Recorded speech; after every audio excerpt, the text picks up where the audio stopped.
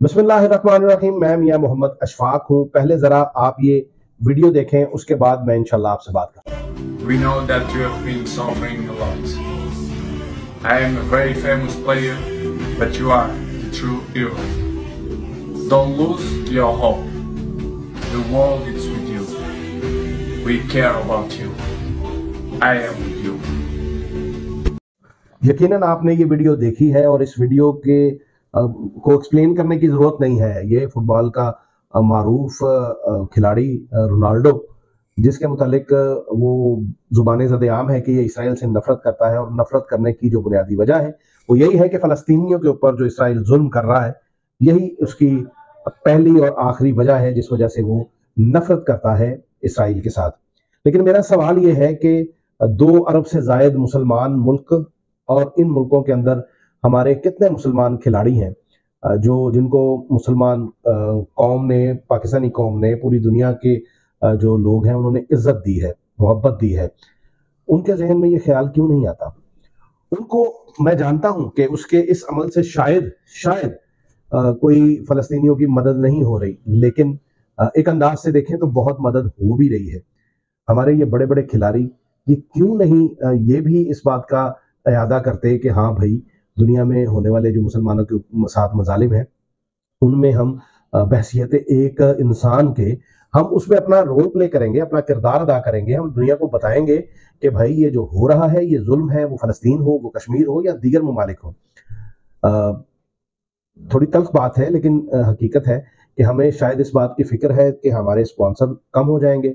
हमें इस बात की फ़िक्र है कि शायद हमारे जो अ, क्या कहूँ लफ्ज आका बड़ा सख्त है लेकिन यही हमें नज़र आता है। दूसरी तरफ़ अगर हम अपने सियासी अकाबरीन की बात करें तो आप जरा नज़र दौड़ा कर देखें कि एक तरफ़ नस्ल कुशी जारी है मुसलमानों की तो दूसरी तरफ़ हमारे सियासी लोग कुछ सोग में हैं तो कुछ जश्न में हैं। अब सोग वाले इसलिए सोग में हैं कि उन्हें लगता है कि उनका मुस्तकबिल तबाह होने जा रहा है।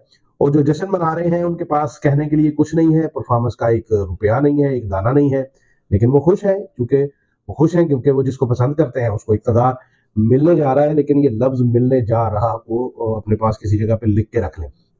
फिर वही कहूँगा, बल्ला हुआ, उनको इलेक्शन लड़ने दिया गया कैंडिडेट हो या ना हो कैंडिडेट होने या ना होने से मुराद ये है कि कोई छोटे कैंडिडेट हो पॉपुलर हो नॉन पॉपुलर हो, कोई भी हो, खंबा भी होगा, कौम इस कदर बल्ला चलाएगी कि किसी के बस में नहीं रहेगा कि वो धांधली करके किसी को नामजद कर सके और यही वजह है कि इलेक्शन नहीं हो रहे।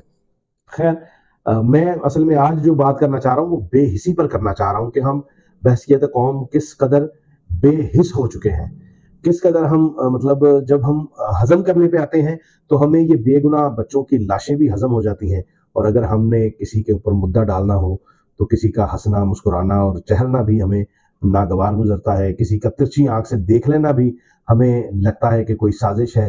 किसी का मुँह से स्लिप ऑफ़ टंग वो भी हमारे लिए फतवे जो है, वो उसके लिए सादर हो जाते हैं। लेकिन नहीं होता तो कुफर के लिए हमारे पास दो अल्फाज नहीं है कि हम उसके लिए कुछ कह सकें। हम उन अफराद को ख़ास तौर पे मैं पूछना चाहता हूँ, जो पिछली कई दिहाइयों से इस्लाम की सरबुलंदी का नारा लगा रहे हैं।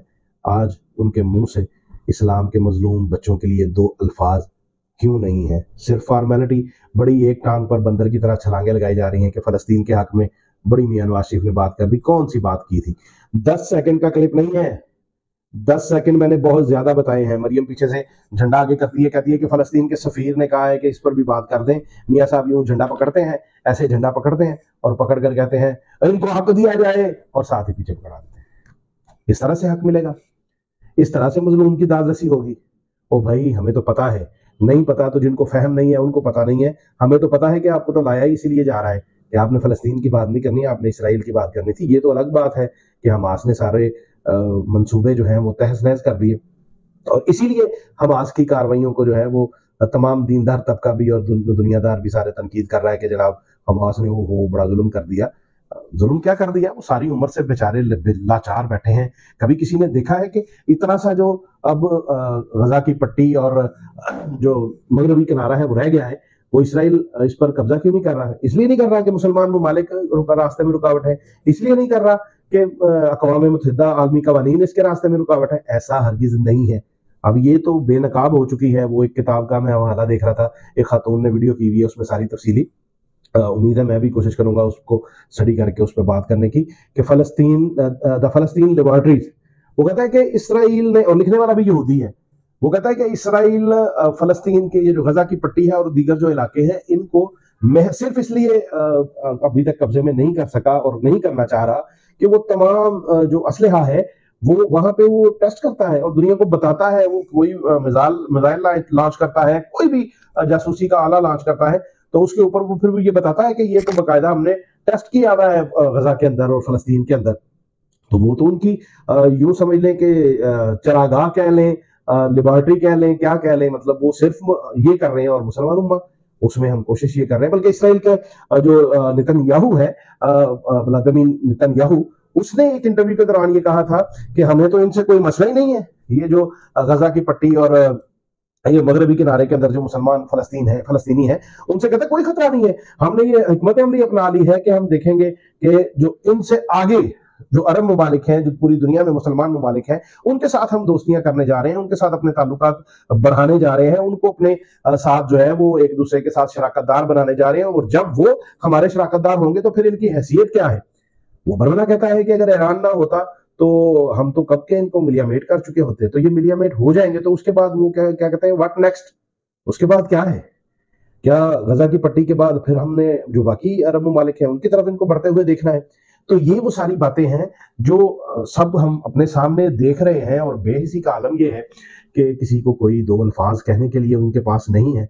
ये तो मतलब वो देखिए गैर मुस्लिम है, उसको उसका तकलीफ़ से बुरा हाल है। आप अभी ये जो सात जुलाई को हमास ने हमला किया है और उसके बाद फलस्तीनियों पर जो जुल्म और बरबदियत के पहाड़ तोड़े गए हैं, उसके बाद पूरी दुनिया में मगर में देखिए ना किस तरह लाखों की तादाद में लोग सड़कों पर निकले हैं इसराइल के खिलाफ। अमेरिका के अंदर निकले हैं इसराइल के खिलाफ। फलस्तीनियों के हक में यहूदी बात कर रहे हैं। यहूदी उनके जो जो इंतहा पसंद नहीं है, जो सहूनी नहीं है, वो बात कर रहे हैं, वो चीख रहे हैं कि ये क्या जुल्म हो रहा है। और दूसरी तरफ़ वो हम आज के पास कैदी जिनको वो सात जुलाई को लेकर आए थे, वो बरमला प्रेस कॉन्फ्रेंस करके ये बता रहे हैं कि हमारे साथ कोई जुल्म ज़्यादा नहीं हुई हम आज के लोग तो कहते थे हम कुरान के मानने वाले हैं, किसी के साथ जुल्म ज़्यादा नहीं कर सकते। अच्छा खाने के लिए उनको दिया, पीने के लिए दिया डॉक्टर उनको फराम किए। ये सारी खूबियाँ आपने किसी मुसलमान हुक्मरान के मुँह से ये अल्फाज सुने कि वो ये बात कर रहा हो कि भाई इतने बुरे वो नहीं है? मैं कहता हूँ, उनकी वकालत को छोड़ दें। हमास की वकालत को भी छोड़ दें। सवाल ये है कि आपने वो जो फलस्तीन के मुसलमान छोटे छोटे बच्चे हैं जिनकी लाशें हम देख रहे हैं ऐसे गोदामों के अंदर माल नहीं पड़ा होता जैसे ये लाशें पड़ी हैं तो क्या उस पर किसी को आवाज़ उठाने की ज़रूरत हो रही है? नहीं हो रही।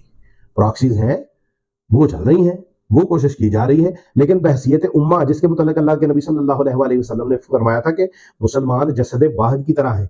ये जसद वाहिद मुझे नज़र नहीं आ रहा। आप वसल्लम ने फरमाया कि किसी को एक जिस तरह जिसम के किसी एक हिस्से पर चोट लगे तो सारा जिसम उसका दर्द महसूस करता है। इसी तरह उम्मत मुस्लिमा की हालत जार होगी। लेकिन यहाँ पे क्या है? वो हालत हमें मिल रही है? नहीं। वो मिल रही है जिसके मुतल अल्लाह के नबी सल्लल्लाहु अलैहि वसल्लम ने फरमाया था कि एक वक्त ऐसा आएगा मफहूम बयान कर रहा हूँ हदीस मुबारक का। आप वसल्लम ने फरमाया था कि एक वक्त ऐसा आएगा कि कुफार इस तरह तुम पर टूट पड़ेंगे जैसे भूखे दस्तरखान पर टूटते हैं। तो साहबा ने अर्ज़ किया अल्लाह के नबी वसल्लम, क्या उस वक्त तादाद में हम कम होंगे? आप वसल्लम ने फरमाया, नहीं। तादाद में आप बहुत ज़्यादा होंगे, बल्कि इस तरह होंगे जैसे समंदर की झाग। फिर साहबा ने अर्ज़ किया अल्लाह के नबी वसल्लम, क्या उस वक्त हम माले दौलत और ताकत के लिहाज से कम होंगे? आप वसल्लम ने फरमाया, बिल्कुल नहीं। उस वक्त आप मालो दौलत भी आपके पास होगा। तो साहबा ने अर्ज़ किया अल्लाह के नबी वसल्लम, फिर वजह क्या होगी? आप वसल्लम ने फरमाया, आप लोग वान की बीमारी में मुबतला हो जाएँगे। साहबा ने की वान क्या है? अल्लाह के नबी आप सल्लल्लाहु अलैहि वसल्लम ने फरमाया हिब्बत दुनिया व कराहियतुल मौत। दुनिया से तुम मोहब्बत करोगे और मौत से तुम्हें नफरत हो जाएगी। ज़िंदगी और मौत की तो बात उस वक्त आएगी जब हम उनके साथ लड़ने के लिए तैयार होंगे। यहाँ तो आवाज़ बुलंद करने के लिए तैयार नहीं हूँ। आखिर में फिर मैं रोनाल्डो इसका शुक्रगुजार हूँ।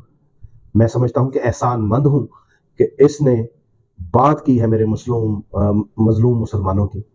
लाचार मुसलमानों की। और मैं शर्म दिलाता हूँ हमारे इनको मतलब क्या कहें, नाम नेहाद किस्म के स्टार्स की, कि इनके दिल में, इनके ख्याल में, इनके तस्वुर में कोई एक लफ्ज़ नहीं है जो ये मीडिया पर आकर अदा कर सके। ये बेहिसी है। अल्लाह जाने इस बेहिसी का दरवाज़ा कब बंद होगा और कब मुसलमान समझकर हम एक दूसरे, मुसलमान तो चलो यकीनन हमारी वो एक मजहबी बन जाती है। वो इंसानियत ही आप देख लें तो देखें किस कदर इंसानियत की तोहन हो रही है। लेकिन है कोई? वो क्या कहते हैं? गालिब ने कहा था, कोई वीरानी सी वीरानी है। कोई वीरानी सी वीरानी है। यकीन करें, वीरानी सी वीरानी है। अब तक के लिए इतना ही। अपनी तनहाई हो अपनी महफिल हो और अपनी दुआ में हम सबको याद रखिएगा। अल्लाह हाफिज़।